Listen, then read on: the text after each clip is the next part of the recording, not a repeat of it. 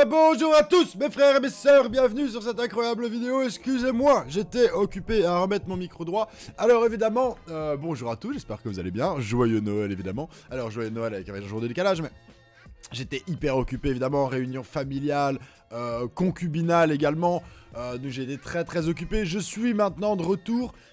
J'ai mis une petite photo de ma tenue de Noël sur mon Instagram pour ceux que ça intéresse, petite photo devant le sapin, ceux qui voudraient voir ma tronche avec ma meuf. Vous avez le truc en description de la vidéo YouTube. Maintenant, on va se concentrer sur style évidemment, je vous propose une liste spéciale aujourd'hui puisqu'il s'agit d'une liste voleur, à savoir un turbo agro. Alors cette liste elle est vraiment ultra chelou, euh, c'est une liste que j'attendais pas du tout. C'est Hyperion qui m'a sorti ça, qui m'a proposé ça. Euh, de Hyperion qui a fait top 500 euh, jusqu'à top 50 Europe, hein. évidemment on parle bien du vrai ladder, hein. sachez bien que évidemment le seul ladder qui existe c'est Asie-Europe, il faut quand même le dire. Ah Et ici, Europe, donc 50 Europe c'est quand même hyper costaud. Il a fait un bon 60% si je vous dis pas de conneries. Donc la liste elle cartonne bien pour monter en tryhard légende, il s'en est servi. C'est une liste sur laquelle j'ai fait quelques essais il y a pas longtemps, pas cette liste là mais une autre. Euh, j'ai fait un stream, ça marche. Euh, mais c'était un petit peu, euh, ça manquait un tout petit peu de force de frappe, vous voyez. Et là, là, on a une liste qui est modifiée de nouveau, donc c'est une liste plutôt agro que tempo, je trouve, même si c'est un petit peu entre les deux. Vous avez ce package avec évidemment agent double, null fallpat, fallpat pardon, qui marche très très bien avec Maestra. En effet, Tant que vous n'avez pas joué une carte rogue, votre agent double fonctionne, puisqu'en fait vous n'allez pas avoir le héros rogue. Donc en fait, agent double va considérer que les cartes de rogue que vous avez en main ne sont pas des cartes de votre classe, et donc agent double va proc. Et il en va de même pour Gnoll Fallpat. Notez également que Gnoll Fallpat, euh, contrairement à ce que je pensais, Gnoll Fallpat, vous n'avez pas besoin de, l'avoir en main pour que la réduction marche en fait. Hein. C'est-à-dire que si vous avez des cartes qui rentrent dans votre main et qu'après vous piochez des cartes d'une autre classe et qu'après seulement vous piochez le Gnoll, il sera quand même réduit évidemment très important. Je dis ça pour ceux qui auraient jamais joué le deck, évidemment. Donc, euh, au demeurant, un package très aggro, il y a vraiment des trucs surprenants. Hein. Vous avez Diablotin de bureau, Murloc mini what the fuck euh, vous avez vraiment des trucs un peu dingues euh, Et pourtant ça marche hein. Hyperion a fait je vous dis dans les 70 games avec Et il a un ratio tout à fait honnête donc ça marche, c'est sûr, ça casse des hucs. Euh, je vais vous montrer ça. Instructrice Lujir, euh, what the fuck, encore une fois. J'adore parce que c'est du tout neuf pour Noël, c'est mon cadeau. Euh, j'espère que personne l'aura sorti avant moi. Pour 4 3-3, coûte un cristal de moins pour chaque carte que vous avez joué pendant ce tour. Bah écoutez, putain, c'est le genre de deck que j'attendais pas du tout, très clairement. Mais c'est vrai qu'avec Diablotin, bah c'est logique. On va tester, on va voir. Une petite remarque à titre personnel. Remarquez quand même que c'est un deck rogue dans lequel il y a quand même pas mal de cartes neutres. Hein. Il y a quand même Monsieur Châtiment, il y a quand même les doubles instructrices, il y a quand même le marchand itinérant. Euh, Maestra n'est pas une carte neutre. Voleuse pas une carte neutre, mais vous savez ce que je veux dire. Euh, c'est une carte double classe, donc bon, c'est pseudo-neutre. Et euh, trois cartes ici encore neutres. Ce qui est assez étrange, hein, ce qui montre un petit peu que le Rogue a pas eu des super cartes pour cette extension, je trouve personnellement. À part Artisan qui met tout le monde d'accord, Artisan est assez ouf. tout le reste, en fait, ça a été un célège. Hein. Le package vol de cartes qui a quand même assez moyennement fonctionné. À part dans le cas de Gnoll et d'agent double. Et même dans ce cas-là, c'est pas vraiment du vol de cartes. On se base plutôt sur Maestra en réalité, plutôt que sur le vol de cartes. J'arrive, excusez-moi. Re, excusez-moi, euh, désolé, j'étais parti chercher pour tout vous dire, ma copine m'a ramené des marrons chauds. Euh, c'est pas une connerie, j'étais en train d'aller chercher mes marrons chauds. J'en ai profité pour prendre des cigarettes au passage. Donc voilà, ici j'ai des crêpes, hein, des crêpes coupées euh, évidemment. Bon, ça se voit pas bien, on dirait ça fait un peu dégueu. Mais euh, en vrai, c'est hyper appétissant, hein, sincèrement. Et là, j'ai des marrons chauds décortiqués, évidemment, ma copine m'a décortiqué les marrons chauds. Là, j'ai du lait cassis. Enfin, je vous dis pas, sortez avec une asiatique, c'est le rêve. Hein. Très clairement, hashtag, hashtag gros misogyne. Ouais, les femmes sont pas censées faire le ménage, enculé. Non, mais je lui ai rien demandé, c'est pas de ma faute. Elle m'a juste proposé des marrons chauds, calmez-vous. Alors. On va tester ça tout de suite sur le ladder. Euh, let's go Melascar. Alors une liste vraiment étonnante, j'espère de tout cœur que ça peut marcher. Euh, j'aurais tendance à avoir une grosse confiance. Euh, si, si Hyperion me sort ça, c'est que ça marche. Je vais vous dire honnêtement il m'aurait pas. Il sait très bien que ça me gave quand on me donne des listes qui sont éclatées, ça m'énerve. Parce qu'il y a beaucoup de gens qui font ça, qui pensent à bien faire. Mais par exemple, quand vous avez un joueur, malheureusement, qui souvent est en platine, va vous sortir une liste. Euh, bah, très souvent, voilà quoi, ça, va être difficile. En rang légende, ça va être un peu compliqué quoi. Euh, disons qu'en rang platine, tu peux quasiment gagner avec n'importe quoi. Hein, je vais pas vous mentir. Bah, il faut un petit peu de bon sens, bien sûr. On peut pas vraiment gagner au sens propre avec n'importe quoi. Mais grosso merdo, bon, euh. Pas sorcier.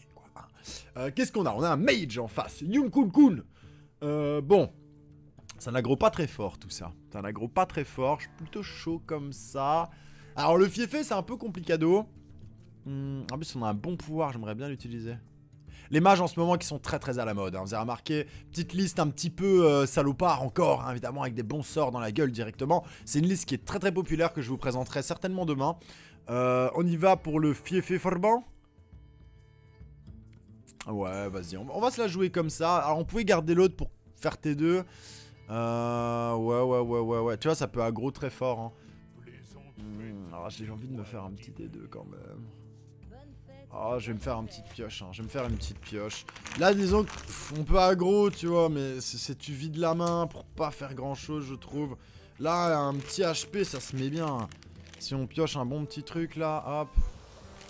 Oui, vous pouvez complètement utiliser le HP sur Maexna, hein, c'est ouf, hein. sur, euh, pas Maexna, comment elle s'appelle, Maestra. Maestra du artwork absolument incroyable, un des plus belles artworks d'Hearthstone, c'est ouf. Euh, ils nous ont des moments comme ça, Hearthstone, ils sont vraiment irréguliers, ils te font des trucs affreux, et d'un coup ils te chient un artwork avec une meuf hyper stylée, euh, avec des crânes coupés sur des pics, tu vois, et après ils censurent le décolleté de Jaina, enfin, on est sur des trucs assez exotiques quand même. Allez hop, let's go comme ça. Hop, ok, l'arc, euh, pas la meilleure celle-là, let's go comme ça. Euh... Y a rien. Ça, c'est nul, hein. Ça, c'est pas si mal, mais... Ah, je peux le faire. Ah, tu sais quoi, on va le faire pour mettre du body. On va le faire, en vrai. Un peu drôle de play, mais ça met du body qui s'écoute. On a besoin de value contre lui, c'est assez marrant. Euh, plutôt, plutôt que de galérer à mettre le Murloc. Alors, le Murloc, bien évidemment, si vous vous demandez, les Lascars, le Murloc, il est là, en fait, pour faire certaines synergies, pour activer des combos, etc., etc. Ok, donc voilà, on le perd directement. Intéressant. Le Gnoll Fallpad qui est déjà à 0, très intéressant. En plus, ça a l'intérêt de réduire évidemment à Gnoll. Euh, genre, genre j'y avais pensé. Euh, hop, hop, hop. Bah écoutez, on va lui. Là, on va le faire transpirer un petit peu, je pense, hein, bien gentiment. Ça vous dit? Ça vous dit qu'on le fasse un peu transpirer? Notez que je peux mettre ça et ça et échanger ça pour forcément réduire ça et avoir un T5. Ça me semble meilleur. hein. J'ai combien de sorts de toute façon J'ai pas de sorts. Donc si je renvoie ça, alors évidemment j'ai envie d'équiper l'arme. Mais si je renvoie ça, ça, ça passe à 5 et j'ai un T5. Parce que là, je n'ai absolument pas de T5 et ma main va se vider. Donc ça me semble être le bon choix, là. Un peu de prévision. Ok, parfait. Comme ça, on a un T5. On pose tout, là. On envoie la crème, les gars. Là, là, on va crémer comme il faut. On crème, on crème, on crème. On voit qu'on récupère en plus coup classe, donc c'est pas si infâme. Ah, ce 7-2-3 m'arrange pas. hein. Je vous cache pas que cette 2-3 risque de faire très mal au réveil. Euh, là, il va souvent contrôler la 6-7. Comment est-ce qu'on gère la 2-3 Ouais, ouais, ouais. Là, on va envoyer la 6-6. J'espère que... Ah, mais il a 2 de spell power sur une AE et clean quasiment tout. C'est quoi, du coup? C'est un OTK, ça, non? Ah, Ça y ressemble un peu. hein. On va envoyer ça. On a combien? On a 13. euh, On va envoyer le... Ah, je sais pas si c'est le meilleur moment pour envoyer ça, en vrai. Je me dis que mettre là, coup classe... euh, Ah, mais après, j'ai... Après, coup c'est bien, mais ouais. C'est ça, le problème. Ouais, coup classe, c'est bien, mais là, je joue rien d'autre, quoi, tu vois. C'est un peu naze, hein. on peut le renvoyer, mais alors on se ferme le play avec brûle de neige. Boule de neige. Hmm. Vas-y, on envoie. C'est une 8-8 après ou c'est 10 Je sais plus. Ah, c'est 9, putain, c'est cher. Hop, on rentre quand même des beaux dégâts. Fait chier, c'est un spell power ici qui, qui, en se réveillant, va lui donner un très beau tour. C'est très désagréable. Il pourrait clean avec l'AE à 4, il pourrait faire très mal. C'est vraiment déplaisant ça, hein. vraiment très fort d'avoir trouvé ça. 9-9, ok. C'est bien, on a rarement l'occasion de voir cette carte jouer, moi je l'avais jamais vue, on voit les artworks sont sympas. Voilà, bah ouais, hein, bah ça forcément, hein, beau top deck bien sûr, à 0, malin, hein, ça tombe bien. Donc il va mettre le deuxième là. Ok, il se décide en cours de route à piocher. Ah, il a raté. Il a pioché Mozaki. Ah, comment il s'est fait baiser Oh oui Oh, c'est bon ça Oh, oh. T'avais qu'à pas piocher Mozaki avec ta liste de high roller. Allez, joyeux Noël. Merry Christmas and Happy New Year. Attends, c'est peut-être pas fini en fait. C'est peut-être pas fini, fini. Ah, c'est bon. Ah, comment il s'est fait niquer Ah, c'est juteux Ah, l'enculé. Oh Évidemment, ça gèle la 6-6, bordel Non, ça dégoûte J'en ai marre Ça me dégoûte Salopard Bon, on va renvoyer ça. On regarde d'abord ce que ça donne parce qu'on est des beaux gosses. Euh, j'aurais pas assez de place. Ah, le spell power qui casse les couilles. J'avais posé ça d'abord, du coup, si je mets une tête, lui, va quand même... euh, Ah, je peux utiliser l'arme, mais ça va pas être intéressant, si? Bon, après, c'est vrai que je perds ça, on s'en fout, non? Ouais, comme ça, je... Putain, comment je joue tellement tempo, là, comment je joue trop chaud, là Merde. Du coup, c'est lui et lui, hein, je crois. Ça me coûte un peu cher, mais c'est pas trop grave. En vrai, ça fait chier, mais c'est pas trop grave. Et si je renvoie ça, je peux jouer la 9-9. Est-ce que je vais pas tchak ou renvoyer la 9-9 Si je le renvoie là, je peux jouer la 9-9. Lui, il part, c'est sûr. Mais, euh... Est-ce que j'ai envie de tchak au prochain tour, quoi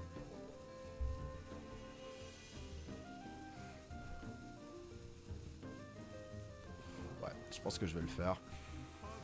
Je pense que je vais le faire pour pouvoir jouer la 9-9 T7 quand même. Pour maintenir un maximum de pression. J'ai pas l'impression qu'ici Chak soit vraiment incomparable. Ok. Faudrait vraiment que je top un sort, ce serait le top là. Une bonne boule de feu dans sa gueule. Ok, intéressant. Pioche en fin de tour, ça régale. Ah, il voulait réduire la main. Il voulait... Non, c'est valable. Hein. Là, c'est valable. Faut pas... Faut pas traiter tout le temps. Allez, dis-moi que tu peux pas retaper, bébé.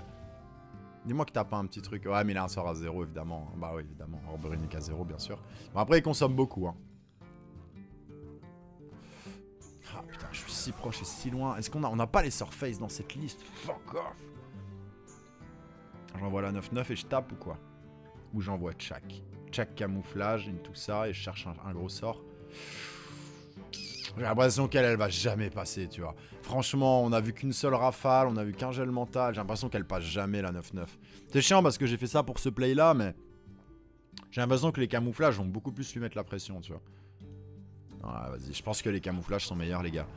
Et comme ça, je peux voir avec ma voleuse de baguette ce que j'ai tout de suite, tu vois. Parce que je rappelle, pour arriver qu'à 0. Hop. Et euh, par contre, elle, elle est targetable. Et attends, je peux jouer ça. Comment je dois faire le placement Un truc comme ça. Oh, c'est nul! C'est nul! Oh non, c'est archi nul! Oh, c'est de la merde! C'est turbo nul, y a rien face! Ah, ça, c'est une game qui va m'échapper. Ah non Non Non, ça, ça marche bien avec ça, cela dit. Oh non Comment c'est nul Y'a rien qui va face, putain Y'a rien qui va face. Bon, on a apporté de l'étal. Euh... Oh non, c'est vraiment nul Je vais faire ça, en fait, pour faire euh, une carte, deux cartes, trois cartes et un. Ça fait, ça fait 8, en fait, hein, vous voyez Ok, ah putain, là c'est dommage, parce qu'un petit missile, là, vous voyez le missile, le truc à 7, là, le petit, euh, comment ça s'appelle, le euh, truc de Enzot, là, qui inflige 10 points de dégâts, là, je fumais bien sa race, boule de feu, je fumais bien sa race aussi. Comment on va faire? Il nous faudrait une deuxième euh, fabricante. Ah non, on a fait les deux voleuses, on a fait les deux. Ah, j'ai pas de dégâts directs, tu vois. Il a, il vraiment. quel deck, quoi. Quel deck. Ça, on va prendre l'état au prochain tour. Hein. Comme ça, vous le savez.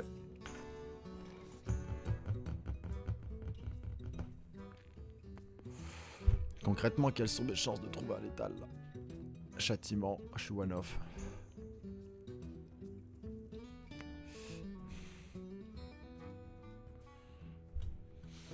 Ah, je pense que là, là, faut y aller dans la gueule. Hein. Ah, ça me fait mal de renvoyer ça. On peut pas monter, hein, donc je peux pas monter à 10 en fait avec ça. On peut pas augmenter, il faut réinitialiser, d'accord? Je pourrais avoir lui pour 1. Vas-y, on va partir là-dessus. Hop. Ah, ça coûte 2. Mais ça marche quand même. Avec le HP, ça marche quand même. Euh, du coup, j'ai joué une, deux. Une, deux, trois. Bon, allez, on y va, on n'a pas le temps. Hop. Allez, smite, ouais, on l'a. Hop, on y va. Châtiment. Putain, je suis one off. Ah, attends, attends.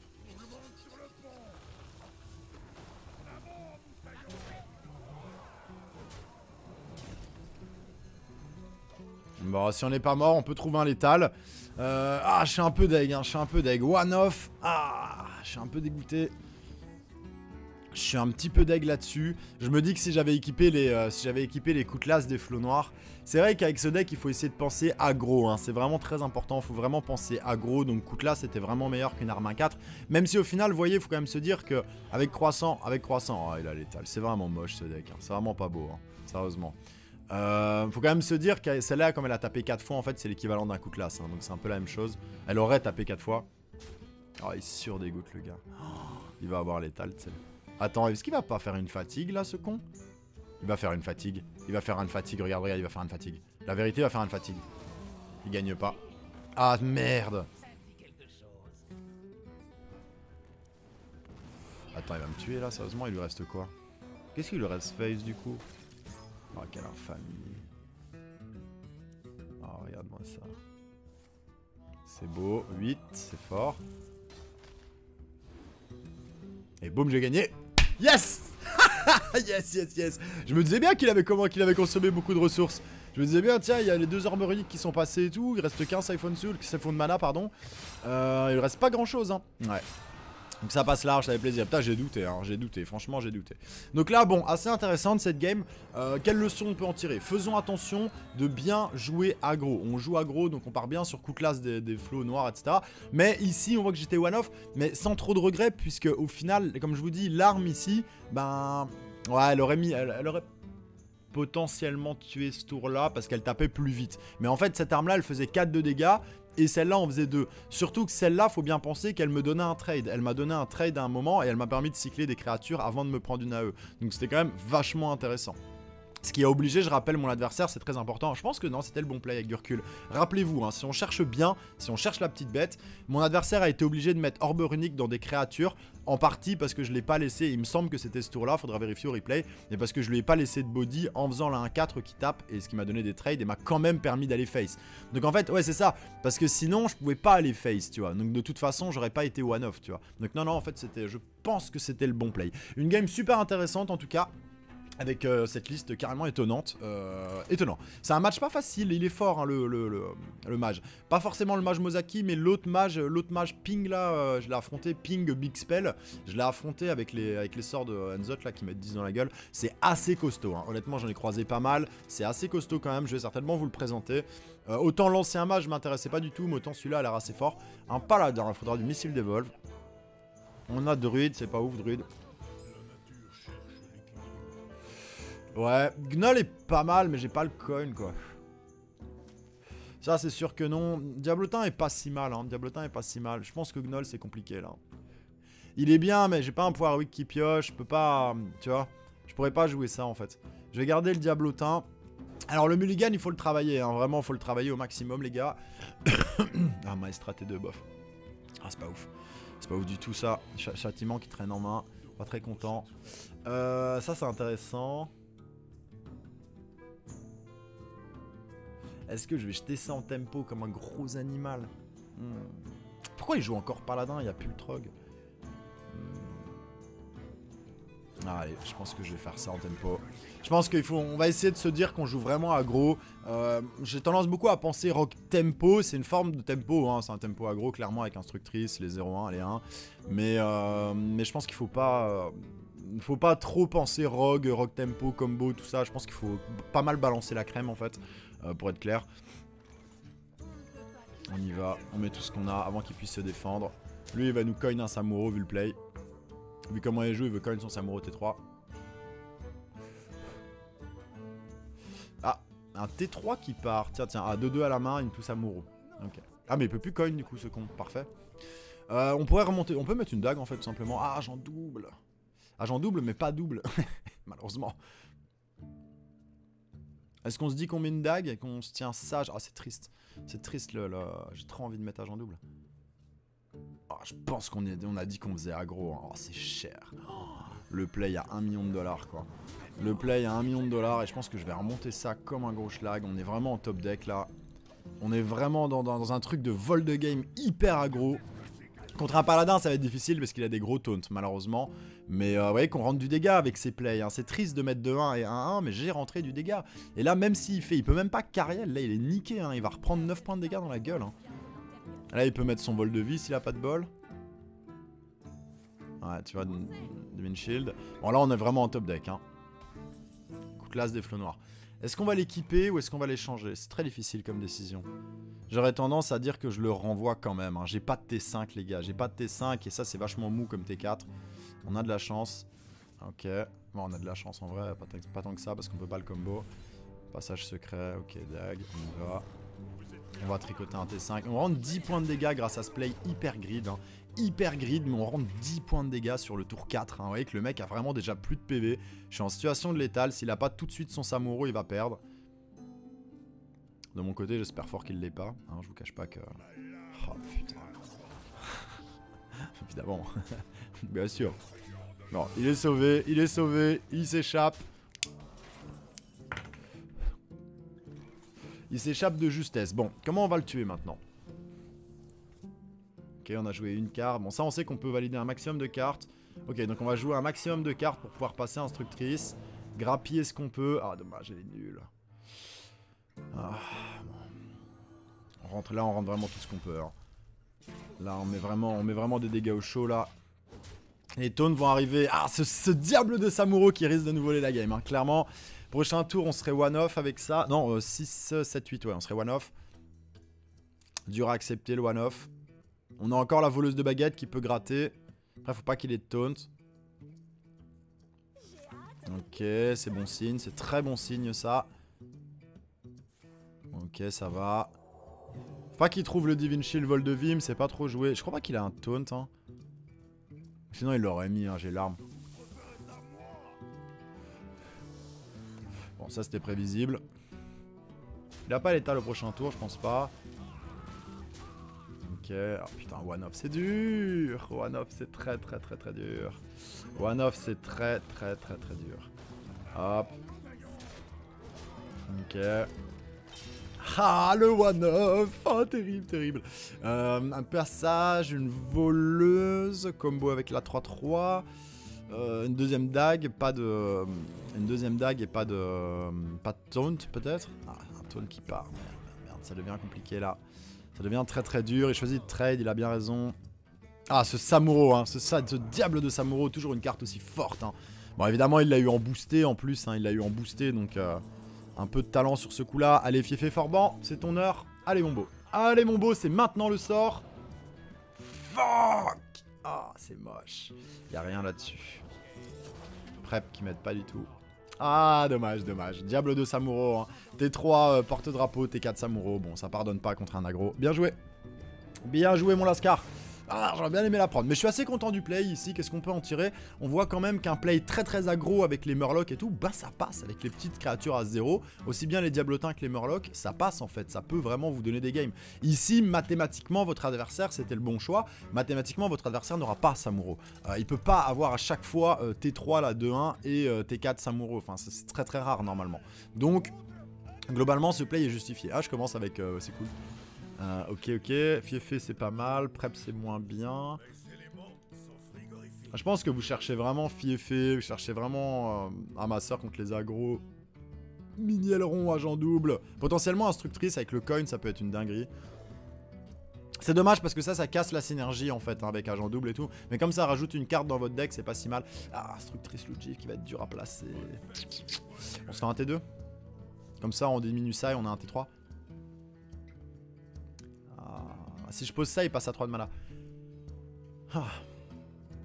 On se fait un T2, allez. On se fait un T2 quand même, là, je pense, c'est trop beau, tu vois. T2, tac, après t'as ça T3, c'est quand même pas mal. Enfin, du coup, il sera à 2 de mana, mais je pourrais peut-être combo. Oh, tiens donc. Oh, ça, ça peut être un... Oh, je sais pas si c'est embêtant ou pas, j'hésite. Je ne suis pas sûr. Euh, je sais pas si c'est embêtant ou pas. Oh, intéressant. Il est chouette en plus le deck, il est chouette. Alors, euh, réfléchissons. Lui, qu'est-ce qu'il veut me jouer, ce petit salaud? Il va souvent me jouer des très bonnes créatures. Euh, Combustion est toujours sympa. Potion d'illusion, c'est cool aussi, hein. Sur ça, euh, ouais. Ah, non, mais ça fait une 1-1. Mais non, ça fait une 1-1. Il faut des cris de guerre de ouf. Après, ça, c'est des bons cris de guerre, tu vois. Mais là, il va faire un HP, il va déjà tuer celle-là. Je pense que potion, c'est Gridix. Hein. Je pense que c'est Gridix. Évidemment, j'aurais pris un Surface. Entité est propre pour prendre sa quête. Est-ce que j'ai du follow? Ouais, j'ai quand même un peu de follow avec ça. J'ai tenté une entité miroir pour lui prendre sa quête. Ok, lui il sera jouable au prochain tour. C'est dommage là. Petit chevauchement. Il coin un T3. Oh, ça y est, ça part en mode druide. Ça part en mode druide.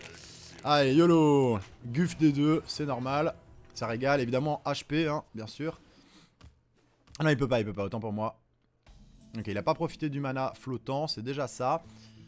Hmm, je pense que ça, c'est le plus fort et on se garde celle-là en réactive. Hop, hop. Faudrait qu'on arrive à passer l'instructrice, faudrait qu'on récupère un petit T0 là. qu'on doit jouer 4 cartes sur le T4 pour réussir à passer euh, instructrice, donc c'est pas évident. Enfin, c'est pas instructrice, c'est comment si? Instructrice loup de givre, ouais. Carte qu'on voit pas souvent, hein, vous m'excuserez. Ok, un petit nourriche qui part, magnifique. Petit HP complètement fumax. La bonne nouvelle, c'est que là, il fait pas grand chose en principe. Mais il s'accélère quand même. Putain, le Guf T2, quoi. Ah, sérieux, mec, allez, quoi.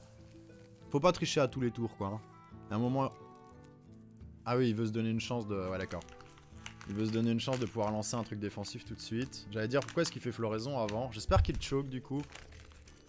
Ce serait bien qu'il échoue. Euh, il échoue plus ou moins, c'est assez faible. Il va trouver un T2, mais globalement, les T2 sont pas trop menaçants. Je vais aller le chercher souvent avec ça. Ok, intéressant. De notre, côté, de notre côté, on peut jouer 3 cartes. Ah, pas assez encore ça.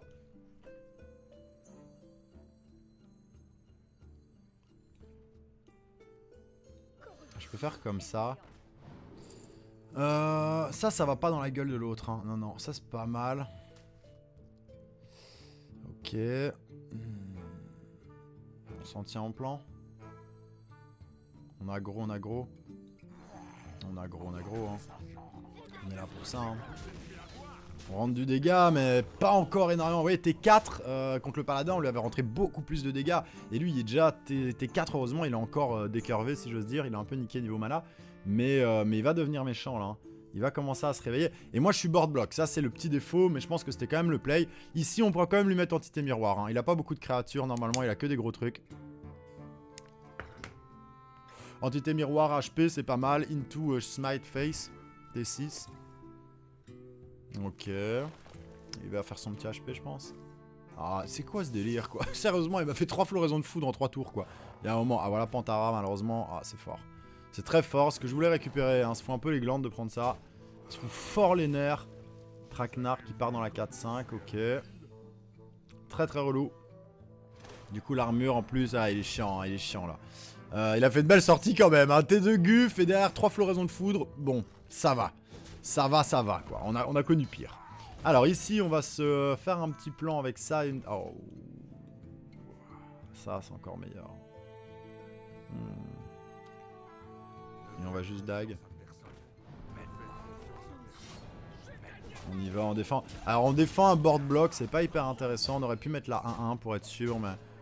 Ok, on rentre du dégât, on rentre du dégât. Ça avance un peu, mais il se défend très bien.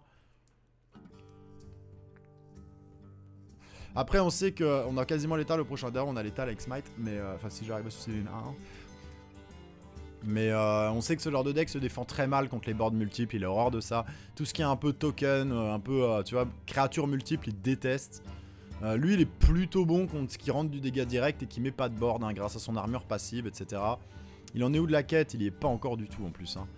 Après, ça peut aller vite, hein. faire attention, ça peut aller vite. De notre côté, on a ce smite qui va nous faire galérer, je pense. J'aurais pu suicider une 1-1 ici. Espérons qu'il en tue, qu'il tue un petit truc. Voilà, parfait, il vu, c'est nickel. Espérons qu'il ait pas les combos délirants. Bah non, il aura que 1-1 du coup. Ouais, parfait. J'ai l'étal. Parfait. C'est beau, c'est beau, c'est beau, c'est beau. Et même, on l'avait mis, on pouvait le remonter en plus.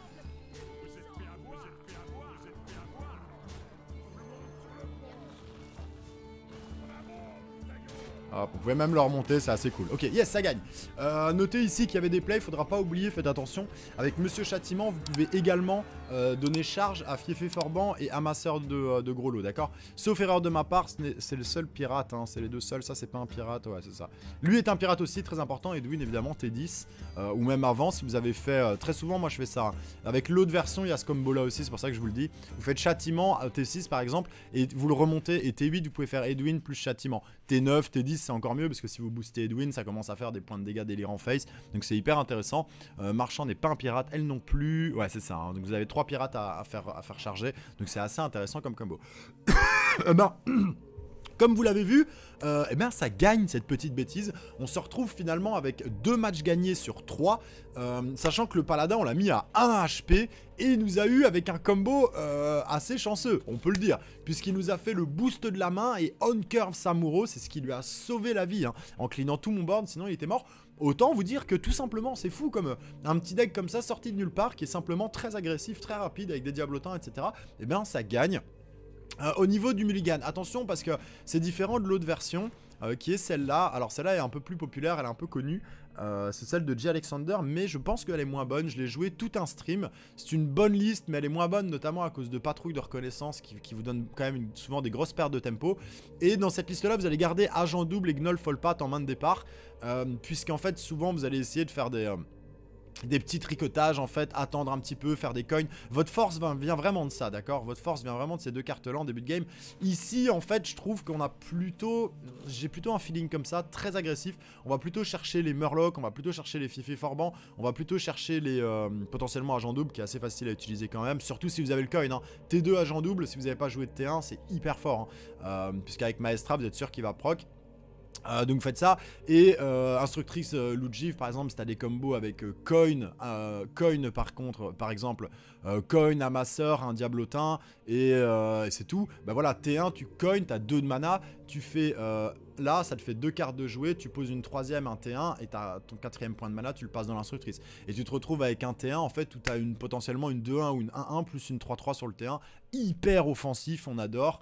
Donc voilà il y a vraiment des trucs de fifou à faire Notez également que euh, ces cartes-là sont des cartes neutres. Donc si vous jouez euh, euh, Maestra, vous pouvez tout à fait par exemple faire Murloc, Coin et euh, instructrice et poser et garder le buff de, Maestra, pardon. Donc c'est-à-dire rester costumé, ce qui vous permettra par exemple potentiellement T2, T3, euh, brique, enfin T3 plutôt agent double. Donc voilà, assez important ce genre de petit combo. Pensez bien que les cartes neutres ne cassent pas la synergie de Maestra. J'espère que cette vidéo vous aura plu. Ça fait 32 minutes que je raconte ma vie. Je vous fais des immenses bisous. Merci à vous de m'avoir suivi. Merci pour tous vos petits mots pour Noël. Ça m'a fait très très très plaisir. Et euh, n'hésitez pas à venir sur Insta. Je mets les petites photos et tout. Voilà, en ce moment je suis un peu en mode Instagrammeuse. Je vous fais des énormes bisous. Merci de m'avoir suivi. Et ciao, Malaskar. Hmm.